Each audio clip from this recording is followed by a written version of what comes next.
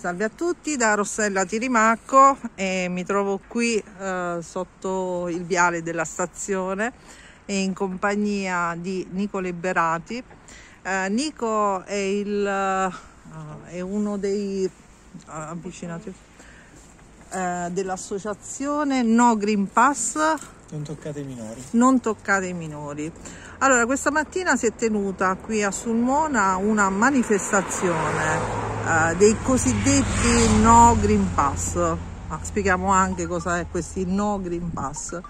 Uh, Nico, cosa è accaduto questa mattina? Perché poi sono, ci sono stati degli articoli in cui uh, la manifestazione è stata rinviata.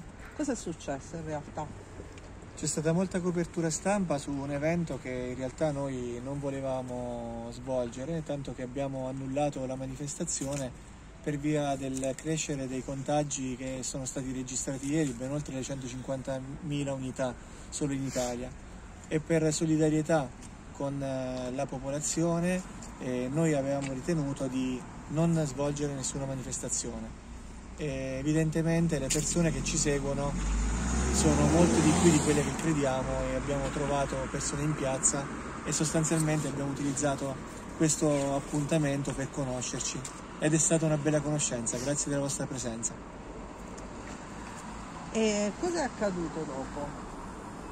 Siamo stati nel lab vaccinale, ci siamo presentati al personale sanitario e abbiamo testimoniato un'evidenza che ai più è sconosciuta.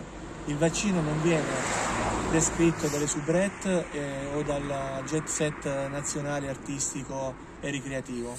I farmaci vengono prescritti dai medici e in particolare il cosiddetto vaccino deve essere prescritto, quindi ci siamo recati negli hub vaccinali eh, questa mattina sul Mono per chiedere la prescrizione o l'esenzione da questo farmaco. In particolare sei stato tu a chiedere il... ti eri prenotato per il vaccino, giusto?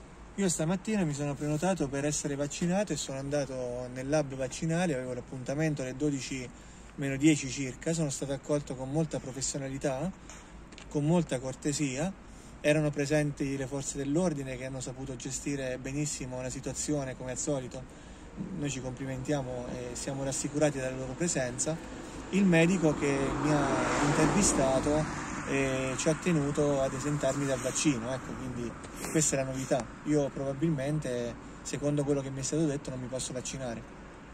Quindi una grande vittoria non necessariamente, io volevo vaccinarmi.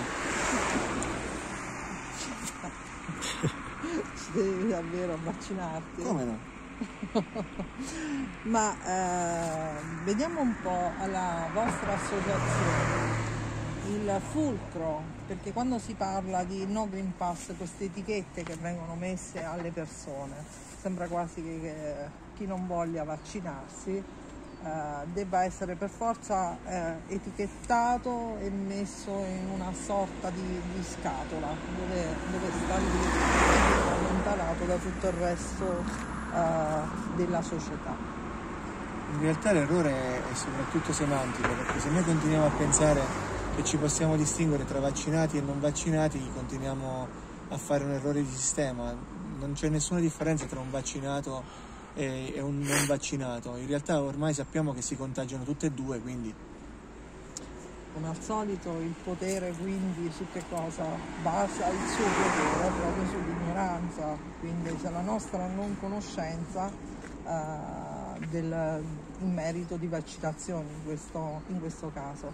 Quando ci sarà la prossima manifestazione? Mi auguro che da quello che mi hanno assicurato i comitati No Green Pass di Sulmona che sono nati eh, questi giorni, diciamo, ma erano già attivi perché c'era una certa effervescenza nella Valle Peligna, che la prossima manifestazione sia quella dell'8 di gennaio. E noi ne prenderemo la paternità, io stesso farò il preavviso di manifestazione e saremo sicuramente presenti qui a Sulmona.